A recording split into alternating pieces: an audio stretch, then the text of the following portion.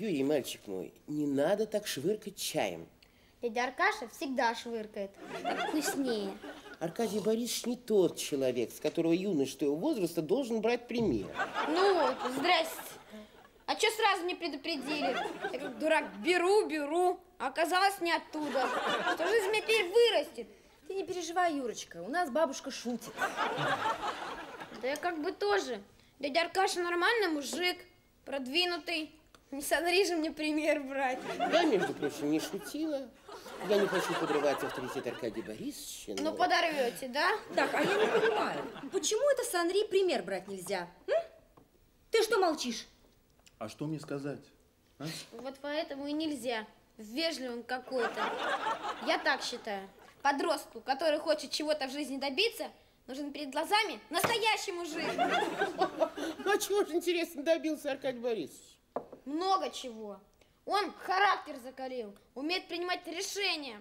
Он мне в Третьяковке разрешил сигнализацию потрогать, а с контролершами грубо разговаривать. Вот, вот стоило Светлане уехать, и все отбились от рук.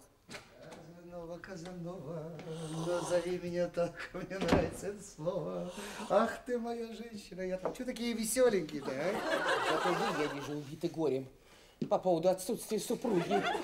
Екатерина Андреевна, гремучая вы моя ласточка. Ох, я сегодня такой добрый, аж самому противно, знаете. Вообще я золотой зять. Андрей, учись. А бабушка запретила мне с вас пример брать. Говорит, вы в жизни ничего не добились. Ну, зачем ты, Юра, обманываешь? Я так не говорила. При свидетелях. Вообще-то говорили. Простите. Зато у нас бабушка Юра всего добилась. Сейчас, сейчас я вспомню. сейчас. А, она у нас жизнь прожила. Я? Я еще не прожила. Прожила, прожила. И это все, вот это вот, все, что вы делали 63 года, все, отдыха не будет. Вы свою прожили и мою попытались. Но Парамонов не такой человек. А? Точно. Нет, конечно, может быть, у меня достижений ноль. Кому это нужно? Поэтому, видимо, и буду сегодня давать интервью в один из столичных журналов. На три полосы, с портретом на обложке.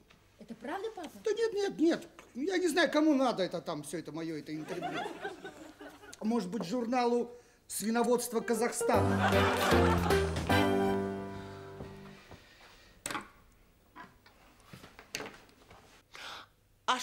Анри? У вас в Африке так принято? Что Анри? Анри молчит. Вот именно. На твоих глазах оскорбляют женщину, а ты... Бабушка, тебя никто не оскорблял. Все уже давно привыкли, что вы с папой так общаетесь. Только вот ты почему-то привыкнуть не можешь. Конечно, конечно, давай, защищай отца. А на мать тебе наплевать, лучше бы об матери подумала. Господи, а мама-то тут при чем? Вот теперь я вижу. Конечно, она ни при чем. Марина, неужели ты действительно считаешь, что Аркадий Борисович побежал давать это мифическое интервью? Он так сказал. А, сказал! Святая ты душа, Анри. Галстук, костюм, побрился, надушился какой-то пакостью. Конечно, все ради этого интервью. Ну, а как он должен был пойти? В майке и в чешках? Все-таки это встреча с корреспондентом. Ой, Солидный- Марина, я тебя умоляю. Для корреспондента так ремнем не затягиваются. Я на последнюю дырку застегнулся, аж багровый. Ну, хорошо. Дырка – это улика. Нет никакого корреспондента, папа побежал на свидание. Нет, ну почему? Я думаю, что он кому-то даст это интервью. От него сейчас всякой подлости можно ожидать. Но то, что там корреспондента не будет, это точно. Ничего не понимаю. И кому же он будет давать интервью, если корреспондента нет? а? Ну, Андрей, это без сюрпризов. Там будет корреспондентка. Я вам даже могу ее описать. Это манерная блондинка лет 25, с глубоким декольте в обтягивающих штанах, э, коровьими ресницами и проколотым пупком. И как ее зовут? Белла какая-нибудь или Кристина. Анри, милый, таких женщин нет. У нас бабушка сегодня немножко фантазирует. Она расстроена. Видишь, ведь про папу в журнале статью напечатали. И что? А про нее нет. Ой, ну какой же вы остроумный мужчина. Ой, так, а Теперь скажите, как складываются отношения между оператором, режиссером и актерами на площадке? Ну, как складываются? Как я скажу, так они и складываются. По-вашему, кто главный на площадке? Режиссер, если честно. Это, это типичная ошибка дилетанта. Нет, на площадке главный тот, от кого все вот это вот зависит. То есть так, Ну, конечно. Вот дайте мне Брэда Питта, Джулия Робертс, там, режиссера этого, э, Михалкова, ну, в конце концов, Спилберга. Дайте самый замечательный сценарий. Вы знаете, я с двумя линзами. Я вот ухайдахаю это так, что мама родная, вы там на экране никого не, за... не узнаете. Супер. Потому что... А позволите, я вас процитирую дословно. Нет, нет, вот, это вот как-то... Все-таки это профессиональные секреты, это не скромно. Знаете, как напишите? Вот так вот, что без операторов было бы не телевидение, а радио. Вот вроде бы как бы точно сказал, и в то же время никого нет. Ну все. Теперь остались простые вопросы. Да, пожалуйста. Вы женаты? Ну, какой же это простой вопрос. Это как раз, знаете ли, это не простой вопрос. Добрый день.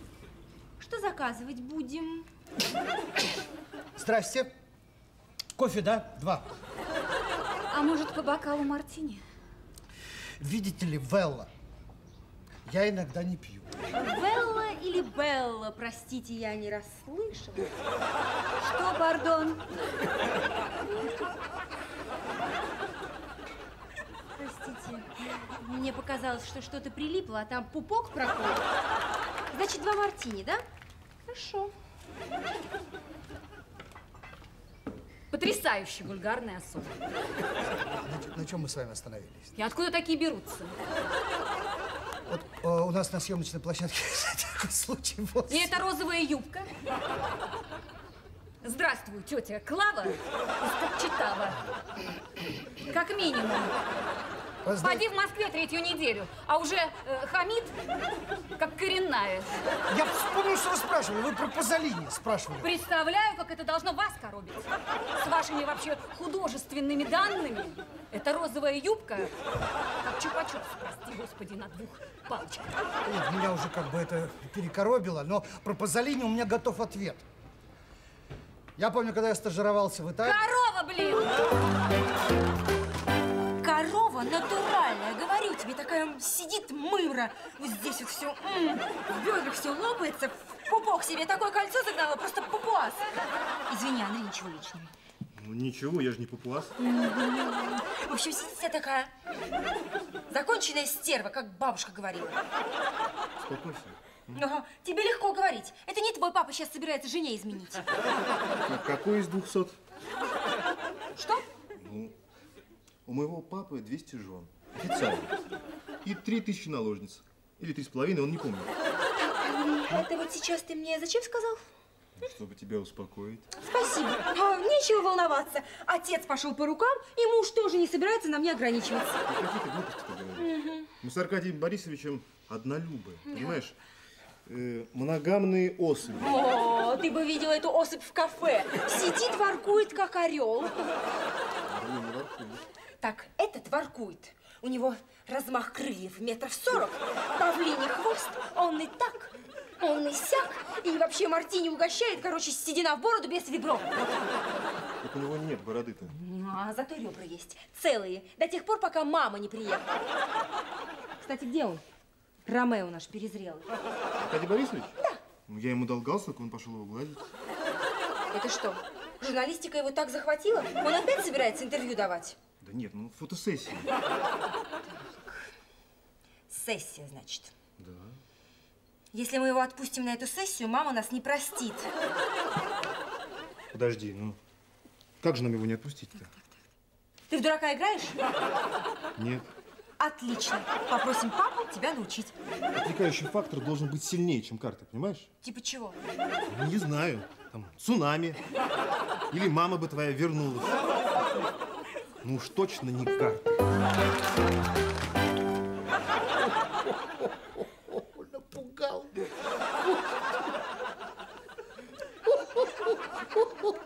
Папу напугал. Ты, принц, помнишь, что мы в американку играем? Вы же говорили на желание. А я, может, всегда американку хочу. Шутка. Андрей, это термин такой, американка, на желание. Цыц, не отвлекай мужа. Сейчас у тебя муж будет под столом кукарекать. Зачем? Я всегда такое желание загадываю, если проиграешь, кукарекаешь под столом, и не здесь, а в кафе. Дим, Просто непонятно зачем. Ну, чтобы это веселее было, балда. Хеть! Ну, что ж ты молчишь? Давай, ходи. Ха-ха-ха, напугал, смотри. А мы его валить, на валить. Раз. О, понимаю. Трудно с копьем против авиации. Давай, ходи.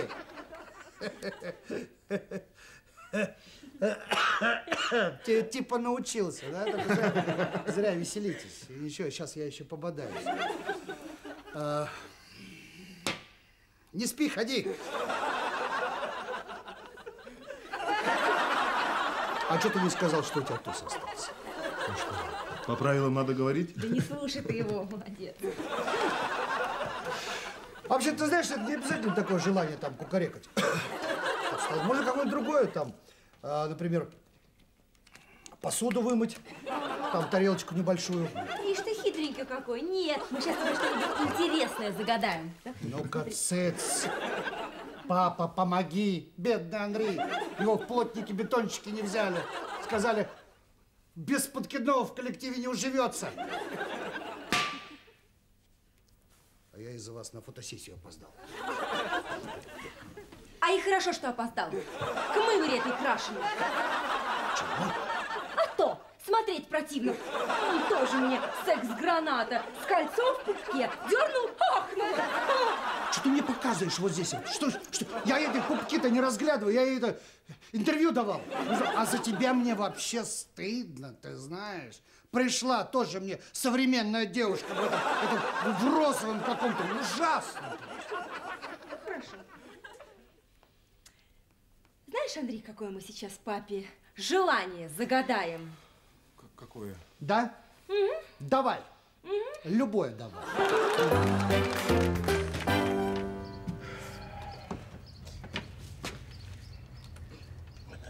Эх ты, грамотей. Отстой пишется через О и через С. Вот стой. Ладно, суть-то понята. Эх, Юрка, Юрка. Гляжу я на тебя, и сердце кровью обливается. Растешь ты, как чертополох. Быстро, да? Да нет, без присмотра. Мужика у тебя настоящего перед глазами нет. Образца, так сказать, для подражания. И на дядю Аркадия решил ориентироваться пока. Ну, Аркадий Борисович человек, конечно, достойный. Но, по совести сказать, хлебковат. Вот когда мы в Анголе Чего в Анголе? По болотам ползали и в негра стреляли. Это, по-вашему, хороший пример для подростка моего возраста. Мы, между прочим, выполняли там свой долг. Сколько вы были должны? Не, не подходит. Дядя Аркадий, может, и хлебковат, но поставить себя умеет. Да. Ну и что это он сумел? Чего. Женился с квартирой. Зять принц. Видик с работы принес. Интервью с ним в журнале скоро напечатают. С портретом на обложке. Ну, это какой это журнал? Да уж не в свиноводстве. Дорогом, модном. Сергеич, ты опытный мужик. Вот скажи, если ты в карты про... проиграл в карты, обязательно отдавать надо. Много проиграл-то.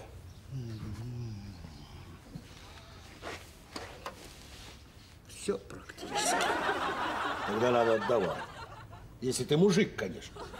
Ну ладно, дядя Аркадий. У нас в поселке тоже один в карты проиграл корову. А что он сделал? Взял и продал ее, а сам в город уехал. Так до сих пор его и ищут. Спасибо, племяш. Полегчало. жарко сегодня. Мне только пять минут отсидеть.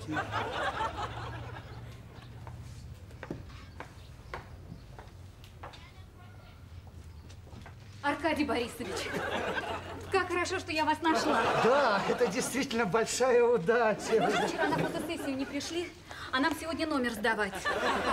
А, эм у меня не адреса вашего, ну ничего. Я могу, могу. Но только давайте попозже. А зачем? Я с фотографом, сейчас прям чекнемся. А, ну давайте. Раз надо, так надо. Сереж, как там по свету? Да свет-то нормальный, только вот фон грязный. А вот лучше вон там, у елки. Знаете, я сам фотограф, поэтому фон, не фон, так это, если что, на компьютере все можно исправить. Давайте. Ну-ка быстро встали, Я быстро всё- чикнемся, и все будут счастливы. Давайте, давайте. А я объясню. Я просто сейчас, как бы, я, я не в форме. А, У меня брюки сейчас не глажу. Ними с брюками, мы вас по пояс снимем. Я не могу. Блин, начинается. И откуда ты их берешь, стахановцев этих? Ну, правда. Не будет фото, не будет интервью. И всем будет плохо. Давайте сейчас быстренько, раз и все. Вы знаете, я вам сейчас объясню. Мы сейчас снимаем большой сериал про шотландцев. Вот, и, как вы знаете, они все ходили в юбках. Время, старичок. Сейчас еще два слова. Значит, и чтобы вжиться в образ, э, я тоже попробовал, э, как, как бы, вот это, в, в юбке. Очень интересно. Так вы еще и актер, значит? Да нет, скорее дурак. Ну ладно. Действительно, будь что будет.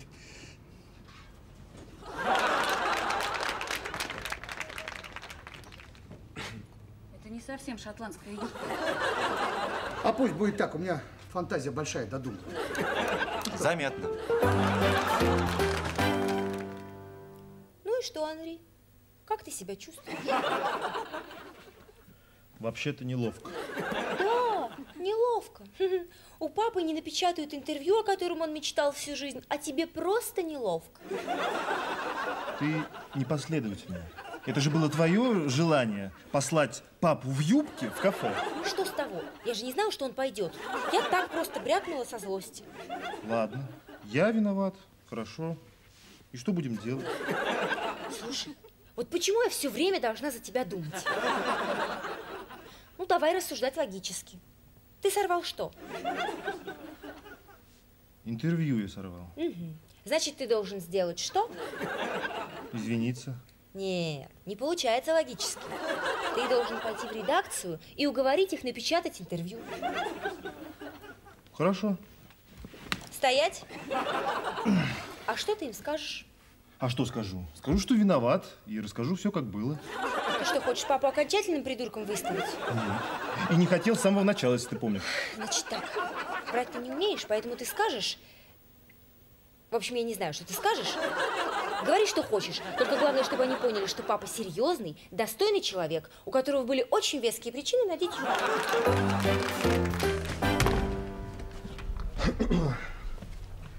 Он честь свою защищал. Кто? Чью?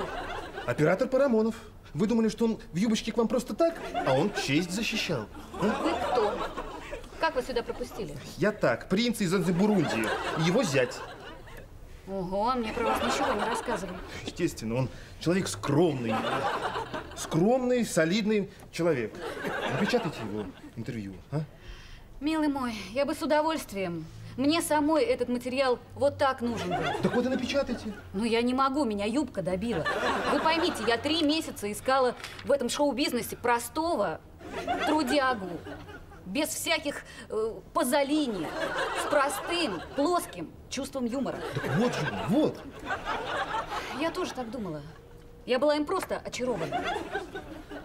Я ему говорю, я думала, что все операторы замкнуты. А он говорит, а я, говорит, разомкнута. Я чуть со стула не упала от радости. Нашла своего героя. А потом началось. И тебе Филини, и тебе Пазолини, и кто какой Брэд Питт на площадке. И в конце это юбка. Ну поймите вы, наконец, он же просто хотел вам понравиться. Он же совершенно другой человек. Э, Он, он мальчика приютил из Сибири, понимаете? Племянника. И дал ему потрогать это, Что еще потрогать дал? сигнализацию в Третьяковке. Так, так, так, так, так, так, так. Э, нахамил э, к- контролерам, и мальчик теперь берет с него пример. Вы не против, если я буду записывать нашу беседу? Вчера проиграл мне в карты. Бридж. В дурака. Какая?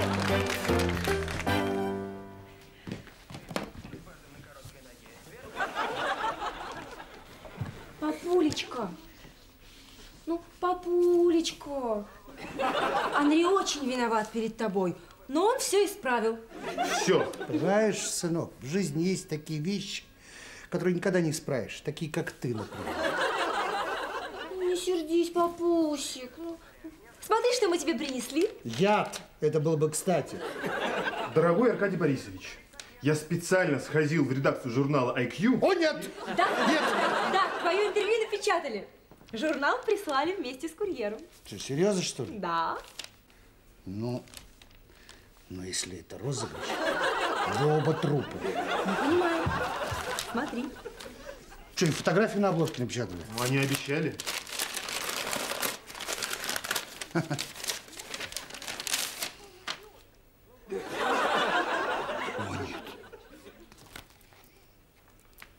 Это же не Попоев. Ну, твой Парамонов, ну, всегда так. Ну, надо же, ну, не мог встретить жену с вокзала. Вот если б не я, вот как бы ты все это дотащила? бы? бы взяла. Светлана Алексеевна, с возвращением вас. Не люблю быть человеком, приносящим дурные вести, но О, мама! Да ну вас, Ки- Кирилл Сергеевич, прям, я не знаю, прям с этими шуточками. Аркашина интервью же напечатали, смотри, Нет, а что это, он? Что, он в юбке, что ли? Ну, ну, конечно, что про Романова не знаешь, как отмочить чего-нибудь. вы заголовок-то, заголовок прочитайте. А, да, наверное, Аркадий придумал. Разомкнутый чудак. Как? Там что, че, что ли? Нет. Да, чудак. Странно. Ну, шрифт у них какой-то неразборчивый. Говорили, на- не напечатают. А смотрите, а дома что творит? Телефон просто разрывается. Что, с работы поперли? Наоборот, работу предлагают. Говорят, открыли новые грани. Нам говорят, нужны такие раскрепощенные. Или как типа, разомкнутые. Что-то